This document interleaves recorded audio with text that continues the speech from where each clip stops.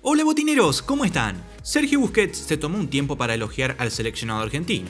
Armó un gran equipo para el Mundial, son una verdadera familia. Y también se refirió a Messi. A Lionel le hacía falta ser campeón con Argentina. Me alegro mucho por él. Es el mejor del mundo y disfrutarlo a través de la tele es un regalo. Le deseo lo mejor.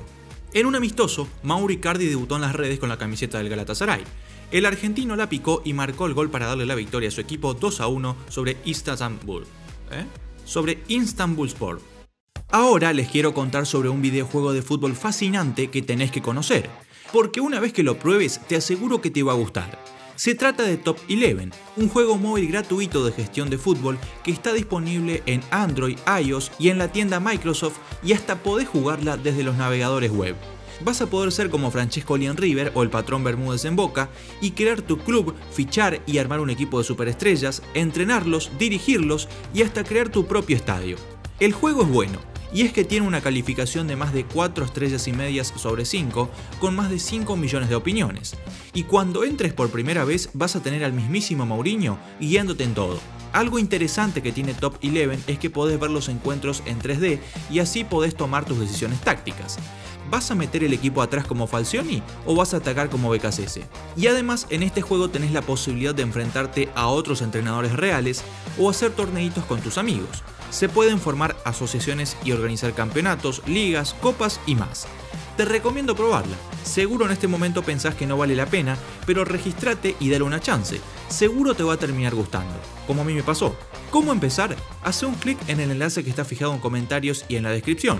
Registrate y demostrarles a todos que sos el mejor de té. La selección argentina salió a practicar en el predio de Inter Miami, pero sonó la alarma y la tormenta eléctrica los obligó a entrenar bajo techo. Para el encuentro con Jamaica, Scaloni pondría los habituales titulares.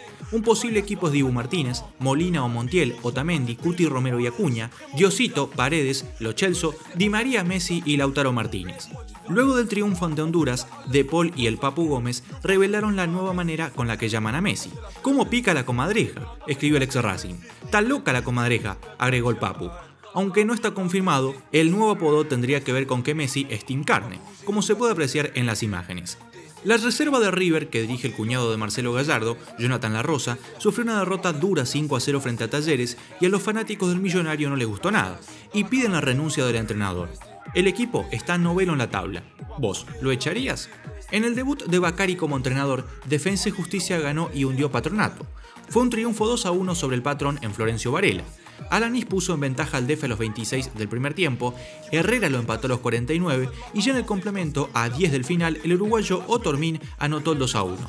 Sarmiento ganó como local y se aleja del descenso.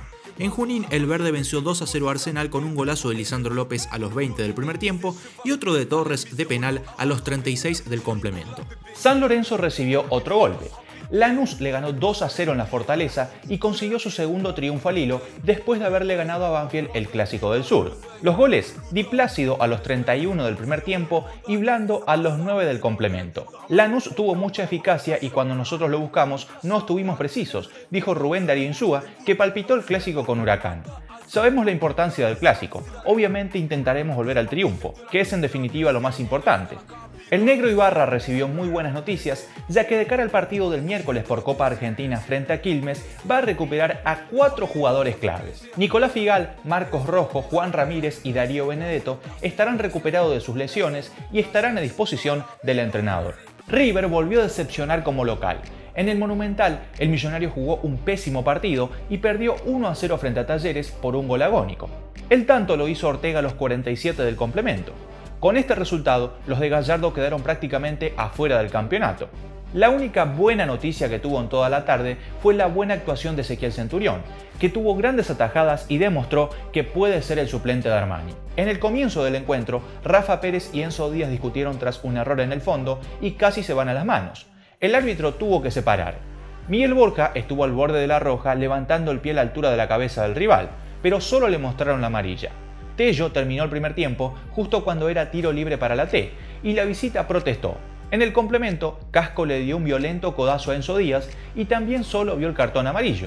¿Y el VAR? Marcelo Gallardo mostró gestos de intranquilidad e insatisfacción después de perder un partido clave y el autor del gol se emocionó post partido. En tanto, Javier Pinola hizo autocrítica. ¿Vos qué opinas de este momento de River? ¿Es más responsabilidad de Gallardo o de los jugadores que no rinden?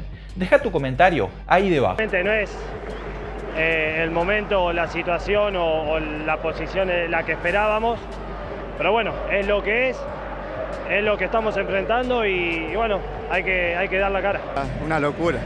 Todavía no puedo creerlo, no caigo, mi primer gol en primera contra un equipo tan grande como River, pero bueno, veníamos trabajando para esto y muy contentos. No hice inferiores. A los 21 años, en el 2018 me fui a probar a los Andes a fin de año, quedé en una prueba, jugué en reserva unos partidos, me subieron a primera, el club descendió a B Metro, arranqué a jugar, bueno, me agarró la pandemia.